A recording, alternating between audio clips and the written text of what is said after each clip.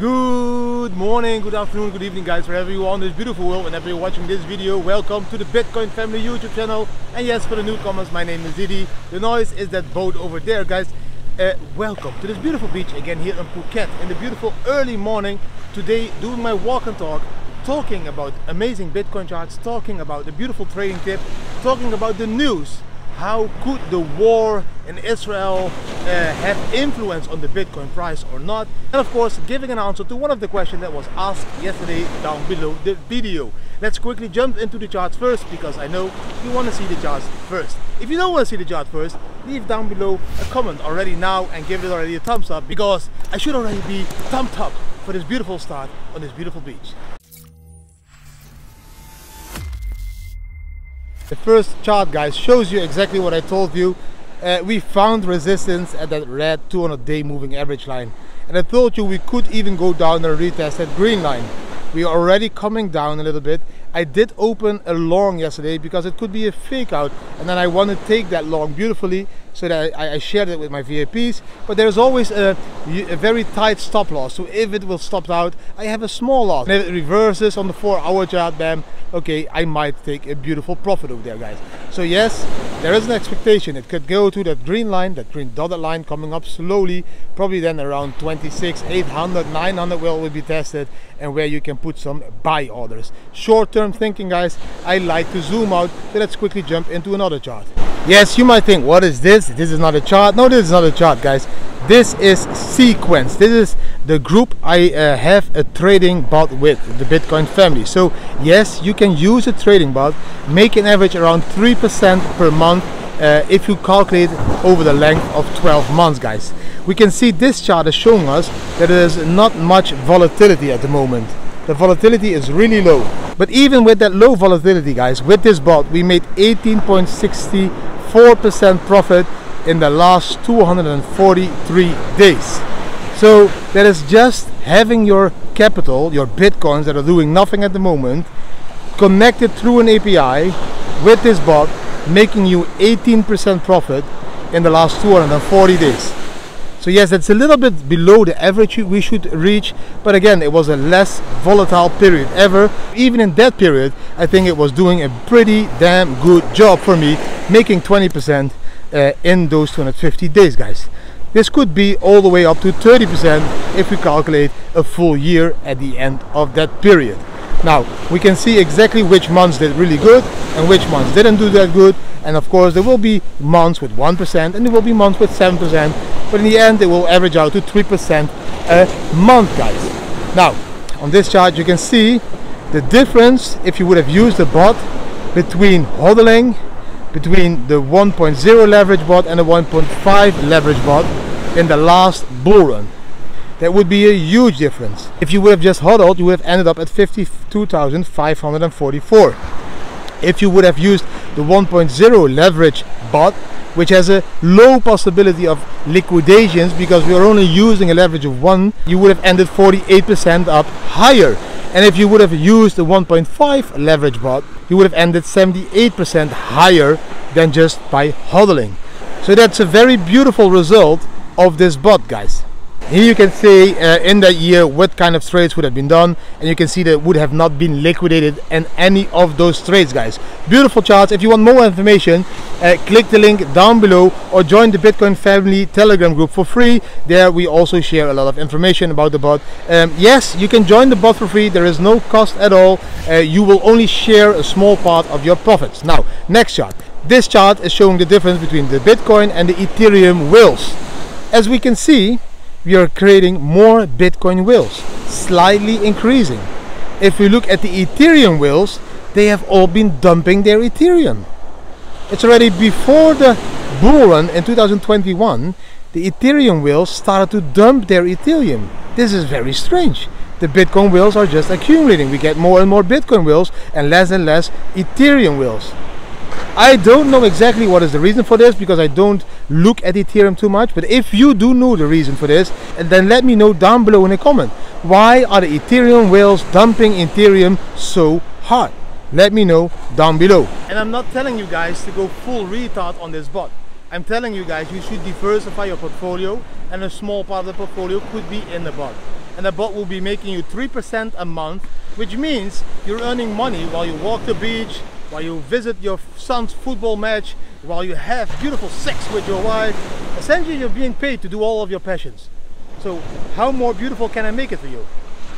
The bot has a low liquidation possibility because it's only using a leverage of one to be honest, we have three bots. We have a spot bot which doesn't use leverage at all. We have a 1.0 leverage bot which uses a leverage of 1 and we have a 1.5 leverage bot which uses a leverage of 1.5 to make it clear. For example, at the moment I am in a trade with a 1.5 leverage bot and for that trade to be liquidated, Bitcoin needs to drop all the way to $1,200, $1,300, something in that area, which in my opinion will never happen. So that's why I say it's a very low risk liquidation bot but it will make you a way more return on investment than just hodling.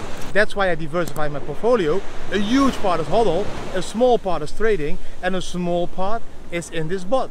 And that bot makes me 3% an average a month if you calculate it during 12 month periods. I hope you really enjoyed the charts guys. Yes, again and again and again, I will keep repeating it. It's like a mantra. Zoom out in Bitcoin. Look at the bigger picture. We are about to go into a massive bull run again. You should be buying Bitcoin to be joining that bull run. If you don't buy, you won't experience the joy of the bull run. It's simple as that. There can be a shitload of things happening in the world, of which we talk about a little bit later in the video, but in my opinion, scarce assets like gold or like for example Bitcoin it is never bad in these situations to add store of values like gold or Bitcoin to your portfolio. It's never a bad time to buy Bitcoin guys. Let's jump into the trading tip. I am slowly running out of trading tips guys, but the trading tip today is about education. You should invest in educating yourself about trading. Wow, this one is really nice. I'm gonna sit this out and wait one second. Look, the big boat coming by there. boat. They make more noise than the Formula One Red Bull big car of Max Verstappen. You hear it? I'm gonna move up a little bit because the waves are pretty big and the noise is a little bit disturbing now. So I'm gonna move here and walk. You can still see the beach and the sea, guys. Don't worry, don't worry, don't worry. The trading tip for today, guys, is a very simple trading tip you should invest in education. Educate yourself about the tools, about indicators, about patterns, about charts, about candles, about all of that stuff.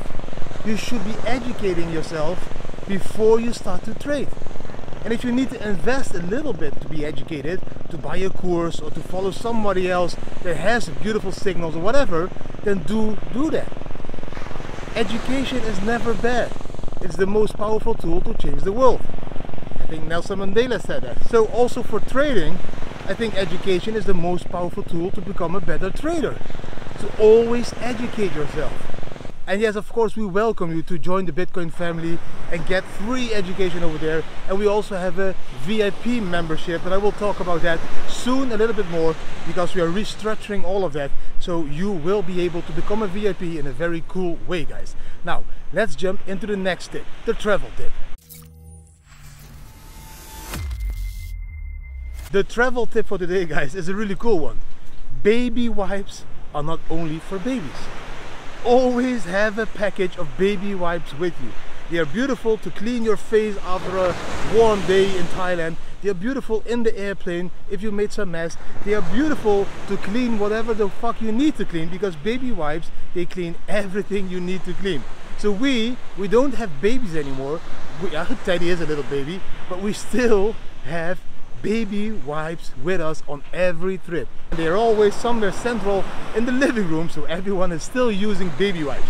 Baby wipes are not only for babies. That was a travel tip for today. Make sure you're always packed with a pack of baby wipes. Which brings me to the news of today guys. We all know there is a war ongoing at the moment in Israel uh, with the Hamas and now Binance took a beautiful step in that they started to freeze the wallets that are tied to Hamas groups. Yes, Binance is doing a terrific job there because of course I think terrorist groups should not be able to use crypto to finance that war. But if it comes to that war guys, I don't want to spend too much time to it because there is so many negativity around that issue and I have a complete different opinion about this issue that probably by talking only about it I will hurt a lot of people's feelings. So the only thing that I want to share with you about this is that I don't believe this war is like happening out of nothing. I think it's a complete planned disaster. Israel has the best of the best of the best of the best security and I've seen now Hamas warriors fly in with these how do you call them even these wind air propelled airplanes so you have the top of the line security and then the Hamas is able to fly in with these propeller planes something else is going on guys always when there is a huge economical crisis a war probably is needed and that is again what we see now there was a shitload of warnings sent out to Israel that a huge attack of Hamas was coming. Nobody did anything. Feels like those attacks in the old days, the 9-11 and everything, where there was a lot of warning, but nobody did anything.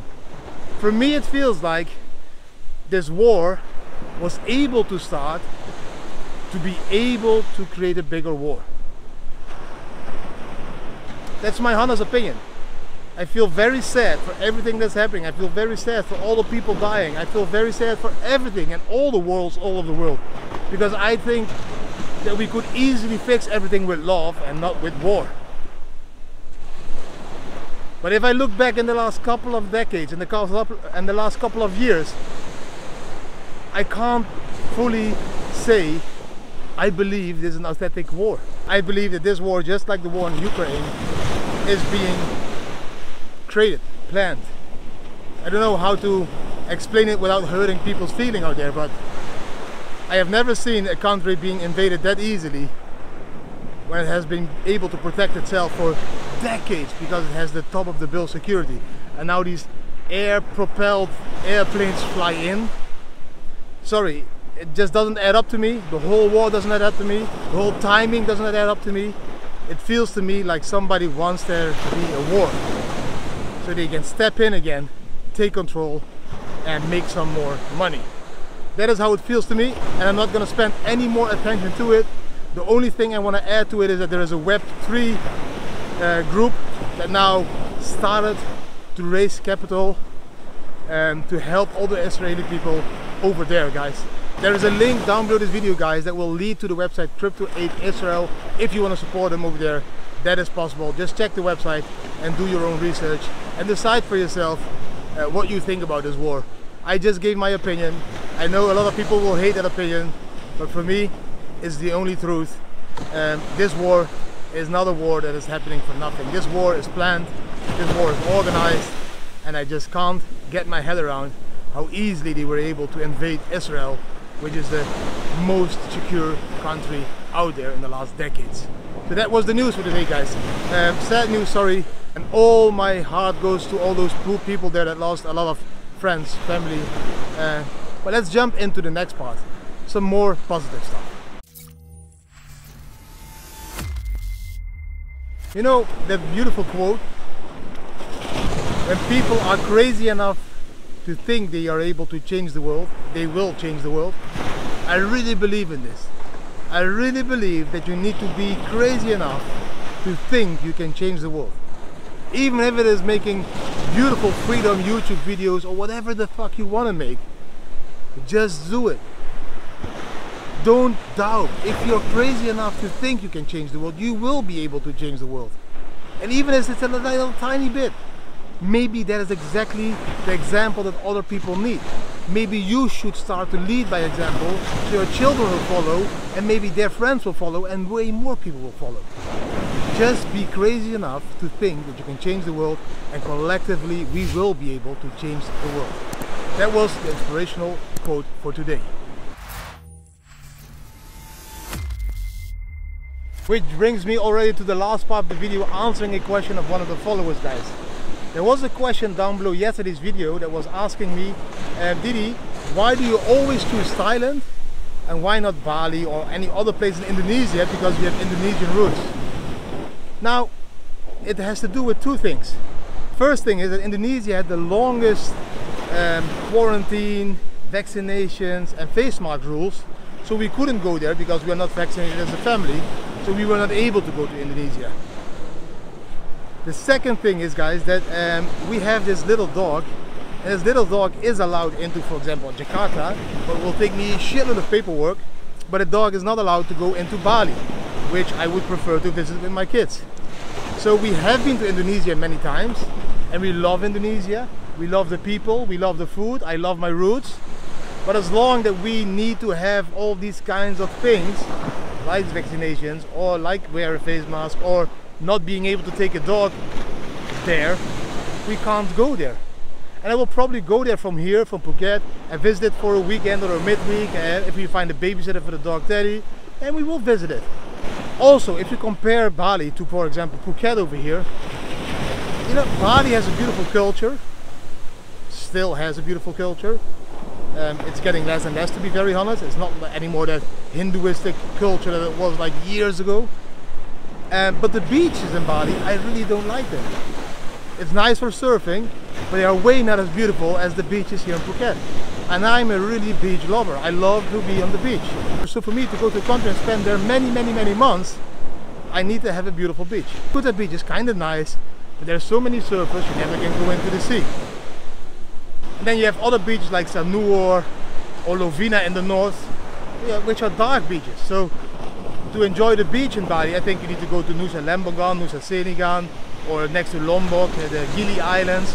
They have amazing beaches, but those islands don't have the quality that, for example, Phuket has for my family.